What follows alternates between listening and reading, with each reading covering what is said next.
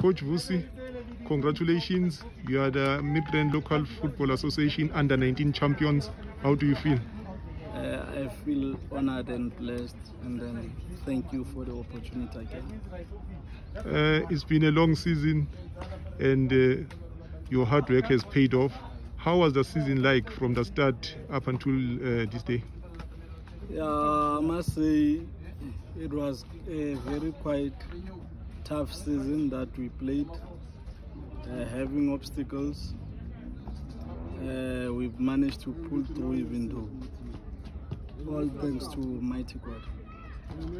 Uh, it's been a season where last season you didn't play because of COVID, but this season the games resumed uh, under the COVID environment. What challenges did it bring and how did you overcome those challenges?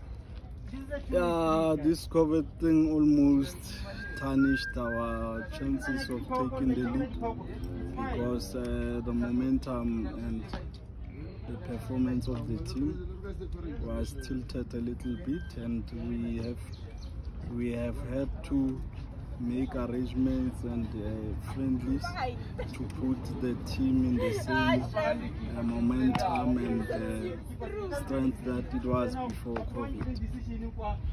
Now that you are champions, uh, I'm sure you'll want to defend your title next season. What are you going to be doing to ensure that when you come back, you come back stronger and you defend uh, your title? Uh, as you can see, we have been given an opportunity to play at the senior level. Then we will be bringing the, our development to, to uphold the, the status that we just won now. And then the, this team that has just won will be playing at the senior level. Once we win at the senior level, then we, we proceed to SAB then that will give us a, clear perspective or a clear picture as to from there where can we take our team. For now, we're still uh, learning phase, then we, we can speculate on what has just happened. Okay. Once again, congratulations, Coach Vusi, and all the best. Thank you, sir.